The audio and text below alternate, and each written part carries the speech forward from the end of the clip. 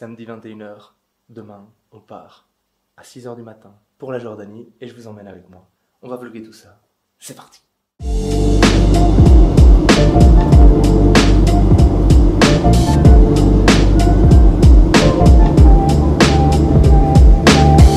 Après euh, quoi 5 heures de vol, toutes les démarches administratives et la location de notre belle quoi? Nissan Micra toute, euh, toute pétée. Nous voilà en Jordanie, on est prêt. On part euh, pour Amman.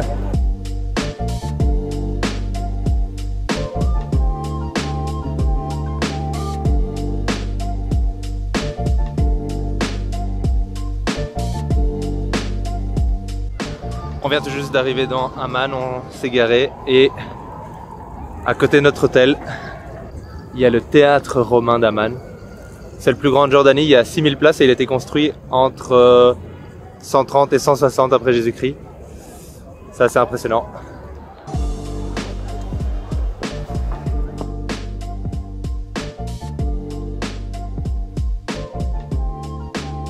Voilà donc le plus grand théâtre romain de Jordanie.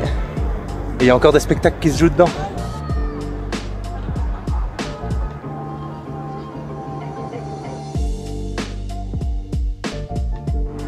Là, on est juste devant la mosquée bleue du roi Abdallah. Elle a été construite à la fin du XXe siècle, entre 1982 et 1989. C'est donc une énorme mosquée qui est construite en plein milieu d'Amman et qui a été construite il y a, il y a 40 ans quoi.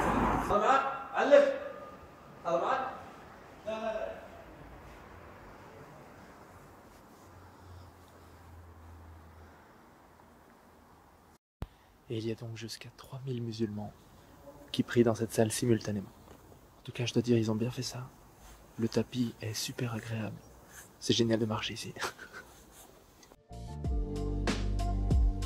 Là, le taxi vient de nous déposer à la Rainbow Street. On s'attendait à rien et on est émerveillé.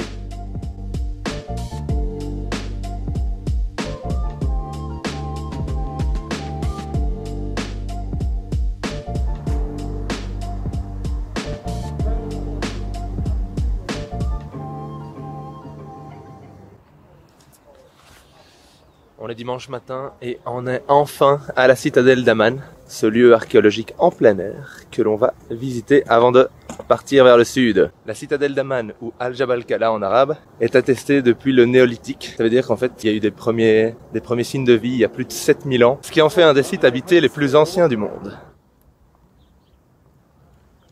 Ici vous pouvez voir le temple d'Hercule qui est la, construction la plus emblématique de la citadelle. Il a été construit en plus ou moins 160 après Jésus-Christ.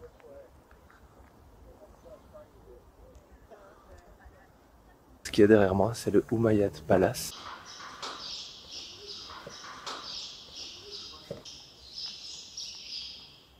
On dirait que c'est là que le gouverneur permettait à des personnes de, de devenir quelqu'un. J'ai pas tout compris.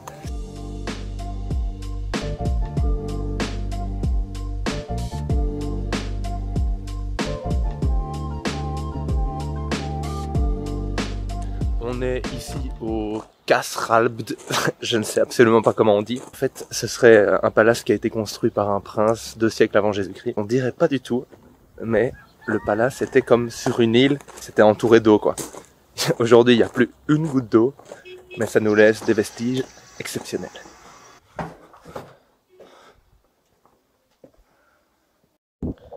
Et après le Kasr nous allons au mont Nebo, là où aurait été Moïse.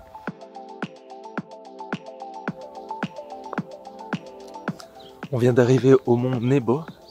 C'est en fait d'ici que Moïse est arrivé pour contempler la fameuse terre promise. Il conduisait alors le peuple d'Israël. Ici en Jordanie, c'est un des lieux bibliques et archéologiques les plus visités. C'est même un lieu de pèlerinage.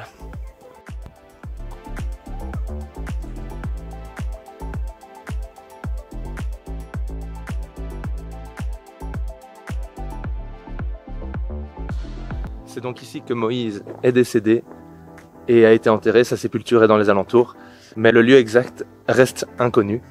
Par contre, ben, juste derrière moi, il y a un sanctuaire qui a été construit en, hommage à ce prophète. Là ici derrière moi, il y a la biosphère du Wadi Mujib. Il s'étend sur 70 km de long dans cette biosphère du Wadi de 200 km. Et en fait, c'est un grand espace de canyon où en été on peut se balader. On peut absolument pas là ici parce qu'il n'y a pas assez d'eau. On se retrouve maintenant à la mer morte, cette mer connue pour avoir un taux de sel énorme et qui nous permet de flotter. On va d'ailleurs aller la tester. Faut savoir qu'en fait le taux de sel est à 20%, alors que dans une mer normale c'est à 5%. Et ben ce sel, en fait, il empêche toute nature de se développer. Il n'y a pas de végétaux, il n'y a pas d'animaux. C'est juste réservé aux touristes. Hey, let's go! Il faut aussi savoir qu'on est au point le plus bas sur Terre. On est à moins 400 mètres au niveau de la mer. Et la mauvaise nouvelle, c'est que, en fait, sur les 50 dernières années, la superficie de la mer morte a diminué de un tiers. L'air de rien, la mer morte est quand même assez grande.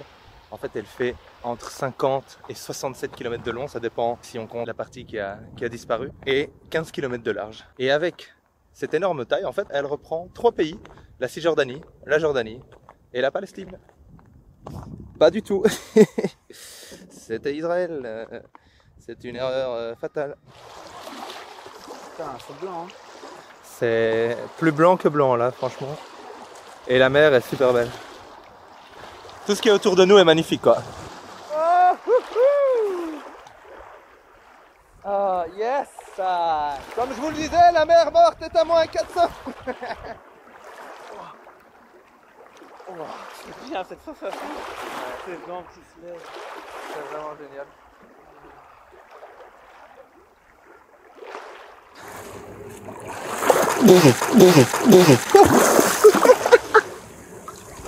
Ouais, en fait, faut pas se retourner, quoi. Oh, l'enfer La mer morte. Nous y sommes et c'est exceptionnel. La sensation est trop agréable, en fait.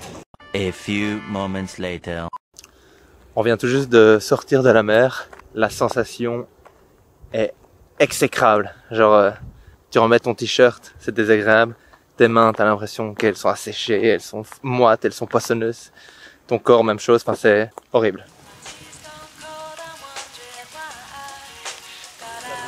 Nissan Micra toute, euh, toute pétée. Et c'est ainsi que se termine le voyage avec la Nissan Micra. Let's go. petit euh, petit débriefing voiture en panne. Ça fait environ deux heures, deux heures et demie qu'on est à l'arrêt. Là, il y a des gens qui nous ont aidés. On a essayé de rallumer la batterie. Il y a la compagnie qui vient nous chercher dans 45 minutes. On va devoir retourner à Amman. on a un peu le seum, on a un peu froid. On n'est pas sûr de pouvoir aller à Petra. Et euh, on attend juste. On vous tient au courant les rails. Chose.